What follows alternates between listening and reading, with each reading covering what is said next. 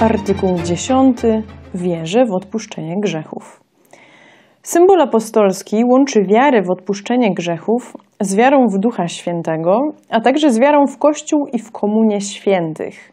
Chrystus zmartwychwstały, dając apostołom Ducha Świętego, udzielił im swojej boskiej władzy odpuszczania grzechów. Weźmijcie Ducha Świętego, którym odpuścicie grzechy, są im odpuszczone, a którym zatrzymacie, są im zatrzymane. Część druga katechizmu omówi bezpośrednio odpuszczenie grzechów przez chrzest, sakrament pokuty i inne sakramenty, przede wszystkim Eucharystię. W tym miejscu wystarczy krótko przypomnieć niektóre podstawowe prawdy. Jeden chrzest na odpuszczenie grzechów.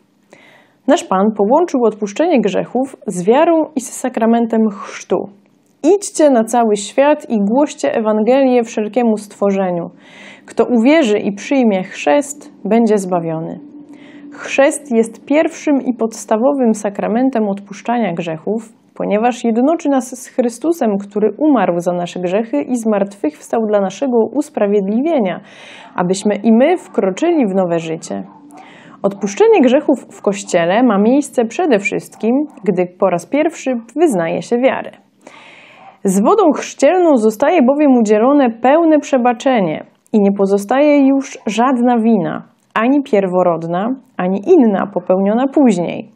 Nie pozostaje też żadna kara do odpokutowania, by zadośćuczynić za te grzechy. Łaska chrztu nie uwalnia jednak naszej natury od jej słabości. Przeciwnie, nie ma takiego człowieka, który nie musiałby walczyć z porządliwością, gdyż nie przestaje ona skłaniać do złego.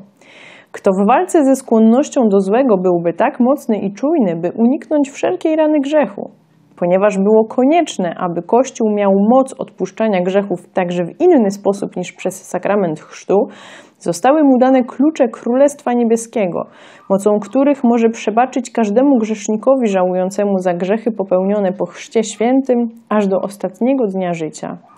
Ochrzczony może być pojednany z Bogiem i Kościołem przez sakrament pokuty. Ojcowie Kościoła słusznie nazywali pokutę mozolnym chrztem. Sakrament pokuty jest konieczny do zbawienia dla tych, którzy upadli po chrzcie, jak chrzest jest konieczny dla tych, którzy nie zostali jeszcze odrodzeni.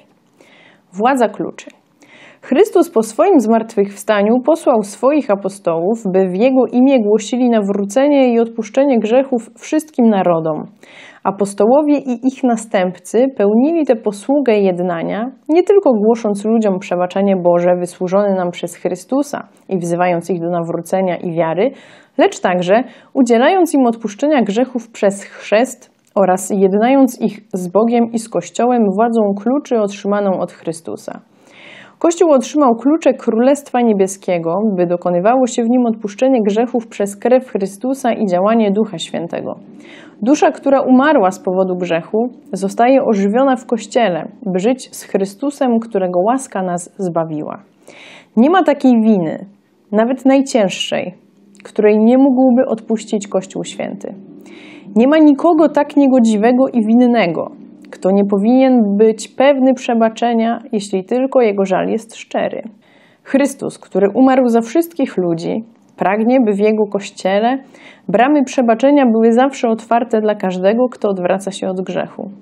Katecheza będzie starać się budzić i podtrzymywać u wiernych wiarę w niezrównaną wielkość daru, jakiego Chrystus zmartwychwstały udzielił swemu Kościołowi. Tym darem jest misja i władza prawdziwego odpuszczenia grzechów przez posługę apostołów i ich następców. Pan chce, aby jego uczniowie mieli niezrównaną władzę. Chce, by jego słudzy spełniali w jego imię to wszystko, co on czynił, gdy był na ziemi.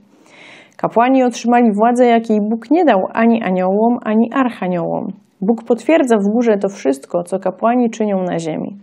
Gdyby w kościele nie było odpuszczania grzechów, nie byłoby żadnej ufności, żadnej nadziei życia przyszłego i wiecznego wyzwolenia.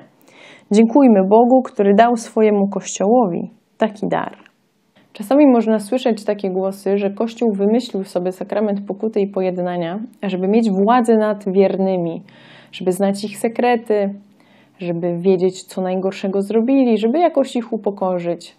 Tymczasem, oczywiście jest to nieprawda, sakrament ten ustanowił Jezus, e, Ale nie o tym chcę dzisiaj mówić, o sakramencie pokuty i pojednania. Jeszcze nie raz sobie powiemy w czasie czytania katechizmu.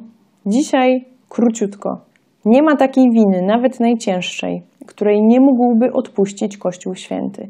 Nie ma nikogo tak niegodziwego i winnego, kto nie powinien być pewny przebaczenia, jeśli tylko jego żal jest szczery.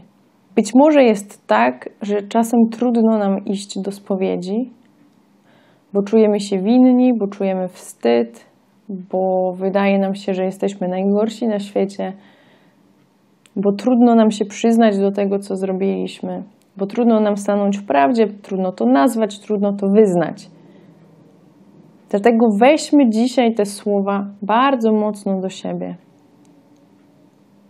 Chrystus pragnie, żebyś był w Jego kościele. Chrystus pragnie, żebyś był jak najbliżej Niego. Chrystus pragnie przebaczyć Ci te grzechy. On na to czeka. On się tym nie nudzi, jak mówi papież Franciszek. On cały czas jest gotowy to zrobić. Posługując się swoim kapłanem, posługując się swoim kościołem. Od nas zależy tylko to, czy zechcemy to przyjąć, czy zechcemy wziąć ten dar. I dziękujmy dzisiaj Bogu, który dał swojemu kościołowi taki dar, który dał swojemu kościołowi władzę odpuszczania grzechów. Sakrament pokuty i pojednania to jest jeden z moich ulubionych sakramentów, choć to nie znaczy, że to jest prosty sakrament. Nie jest dla mnie prosty i też często się z tym zmagam, ale zawsze i przed i po dziękuję za to, że Bóg nam go dał. I zachęcam dzisiaj siebie i Was, żeby zaplanować sobie spowiedź, żeby podziękować za ten dar i żeby żyć mocą łaski tego sakramentu, być wolnym człowiekiem,